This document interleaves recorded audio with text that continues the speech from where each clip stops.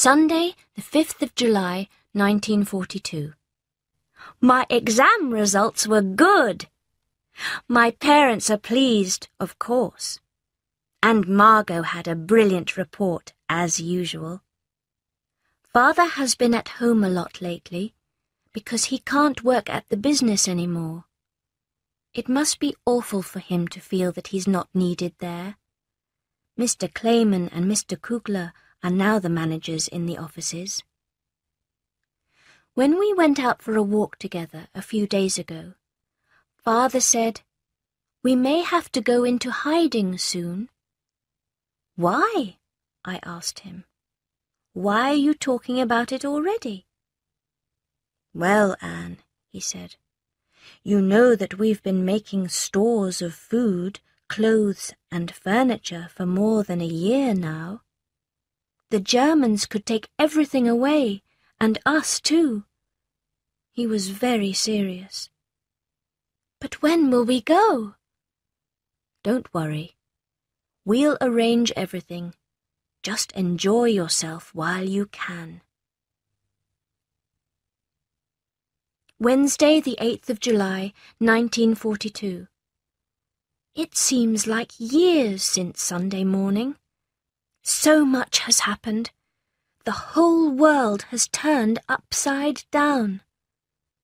But I'm alive, and that's the most important thing. On Sunday afternoon, we heard that the Germans were going to take father away. We know what that means to a concentration camp.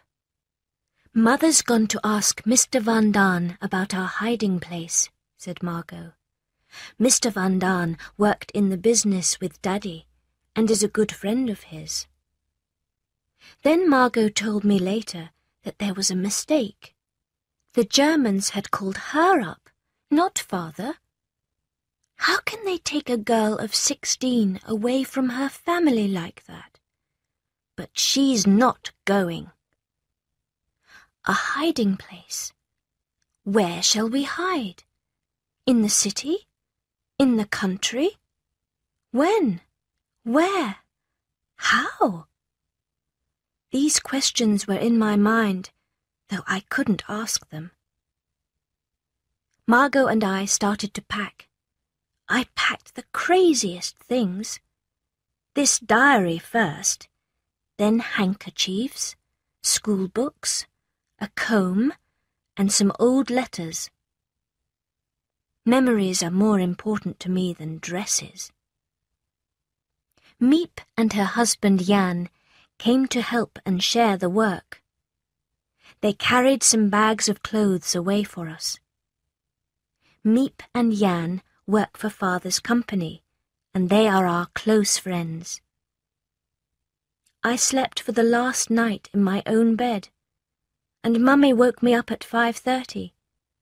We dressed in lots of clothes. No Jew would dare to leave the house with a suitcase. At 7.30, we left the house. I said goodbye to Moortje, my cat. The neighbours were going to look after her.